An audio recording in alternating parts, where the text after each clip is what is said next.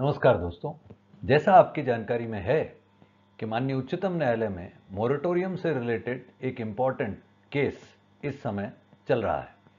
आज, यानी 14 अक्टूबर 2020 को सुप्रीम कोर्ट में इस मामले में क्या सुनवाई हुई, भारत सरकार ने अपना क्या पक्ष रखा आरबीआई ने क्या पक्ष रखा, इंडियन बैंकिंग एसोसिएशन ने क्या पक्ष रखा और सुप्रीम कोर्ट ने आज दिनांक को क्या डायरेक्शन या क्या बात की वो मैं सारे अपडेट लेकर के आज इस छोटी सी वीडियो से आपके सामने आ रहा हूँ।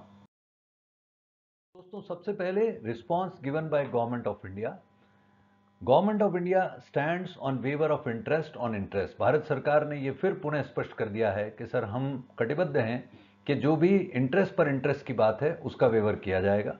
However it needs time to give effect to its decision by fifteenth of November 2020 Bharat सरकार ये कह रही है, सर, कि हमें 15 नवंबर तक का टाइम दीजिए ताकि हम इस पर क्लियर पॉलिसी लाएँ।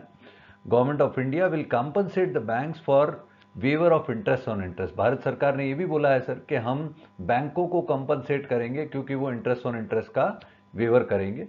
और सेंट्रल गवर्नमेंट ने, सर सुप्रीम कोर्ट को ये भी बोला है that going any further than the fiscal policy decision already taken Bharat सरकार ये करिए जो policy decision already ले लिए गए हैं such as waiver of compound interest charges on the loan up to rupees 2 crore for 6 month moratorium period may be detrimental to the overall economic scenario the national economy and the banks may not take inevitable financial constraints यानी भारत सरकार supreme court में ये कह रही है sir कि जितना हमारे को रिलीफ देना था इंक्लूडिंग ये रिलीफ सहित जो हम इंटरेस्ट ऑन इंटरेस्ट के वेवर की बात कर रहे हैं। इससे ज़्यादा रिलीफ देना ओवरऑल इकोनॉमी के लिए सही नहीं होगा इकोनॉमी की हेल्थ के लिए सही नहीं होगा, ये भारत सरकार का कहना है माननीय उच्चतम न्यायालय को। अब देखते हैं दोस्तों आरबीआई ने क्या रिस्पांस दिया? पहली बात आरबीआई कहती है loan moratorium exceeding six month might result in vitiating overall credit discipline which will have a negative impact on the process of credit creation in the economy यानी आरबीआई ये मानती है कि अगर आप छः महीने से ज़्यादा का मोरेटोरियम देंगे तो ओवरऑल क्रेडिट क्रिएशन इकोनॉमी में बिगड़ सकता है।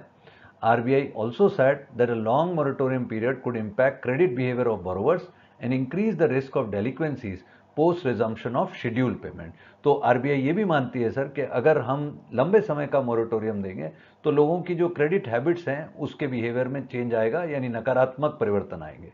RBI has also said any waiver of interest on interest would entail significant economic cost which can not be absorbed by the banks without serious dent to their finances and this in turn would have huge implication for the depositor and broader financial stability. क्योंकि sir अगर moratorium लंबा होगा RBI ऐसा मानती है तो उसका ultimate नुकसान डिपॉजिटर्स तक और ब्रॉडर फाइनेंशियल स्टेबिलिटी पर भी आएगा तो ये दोस्तों आरबीआई का स्टैंड था अब दोस्तों सुनिए response by Indian banking association क्या रहा इंडियन बैंकिंग एसोसिएशन कहती है we are waiting for RBI circular final circular RBI दे कि क्या इंटरेस्ट पर इंटरेस्ट का वेवर करना है कैसे करना है government of India and RBI has filed a consolidated affidavit and IBA Indian banking association is saying कि साहब उस कंसोलिडेटेड एफिडेविट पर कमेंट करने के लिए हमें समय चाहिए।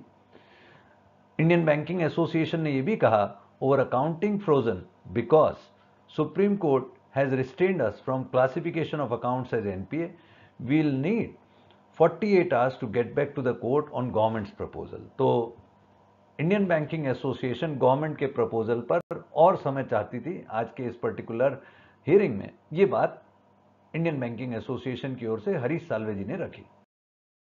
अब ऑनरेबल सुप्रीम कोर्ट क्या बोलती है? सर, बड़े ध्यान से सुनिएगा। Why no orders issued yet by government of India माननीय उच्चतम न्यायालय ये कह रहा है दोस्तों कि जब भारत सरकार कह रही है इंटरेस्ट पर इंटरेस्ट का वेवर करेंगे तो अब तक आपने ऑर्डर क्यों नहीं जारी किए? Decision of government of India should be implemented as soon as possible why time is required up to fifteen of November 2020 क्योंकि भारत सरकार ने आरबीआई के साथ में कंसल्टेशन के साथ प्रोबेबली सुप्रीम कोर्ट के पास ये बात रखी कि हमें 15 नवंबर तक का टाइम दीजिए इस पर फाइनल पॉलिसी के लाने के लिए। लेकिन सुप्रीम कोर्ट बोल रही है, सर, आपको 15 ग्यारह 2020 क्यों चाहिए? इतना लंबा समय क्यों चाहिए? और सुप्रीम कोर्ट ने कमेंट किया, sir, Diwali of common man is in the hands of government of India's hand तो दोस्तों सुप्रीम कोर्ट ये मानती है कि भारत सरकार को जल्द से जल्द इंटरेस्ट ऑन इंटरेस्ट के वेवर के संदर्भ में क्लियर कट गाइडलाइंस लानी चाहिए। लेकिन इसके अलावा बाकी विषयों पर आज बहस में कोई फाइनल आउटकम नहीं आया दोस्तों। अगली हियरिंग इस केस की 2 नवंबर को रखी गई है।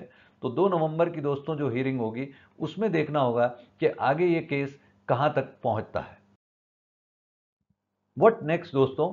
आगे क्या है? Will there be waiver of interest on interest ये बात आप 100 प्रतिशत मान के चलें।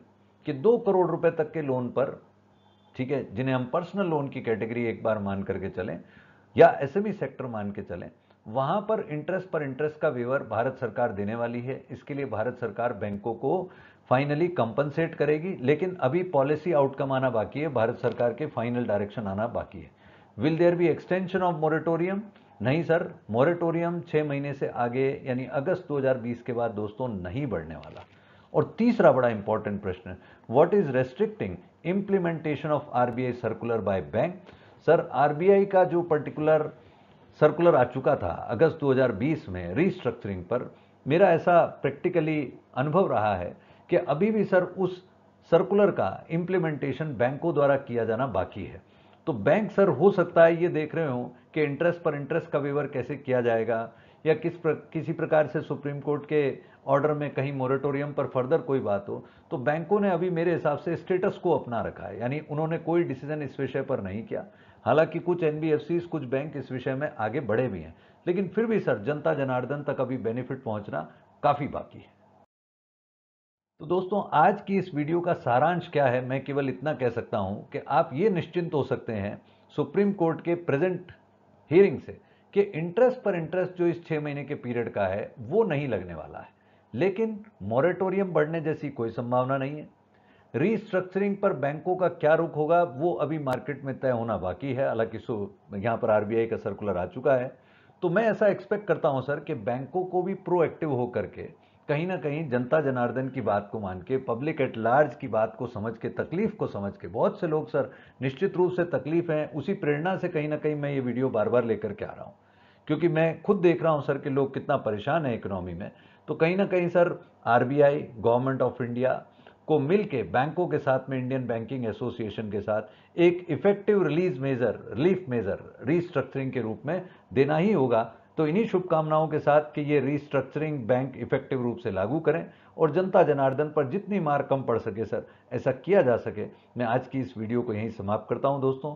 बहुत बहुत धन्यवाद। जय हिंद।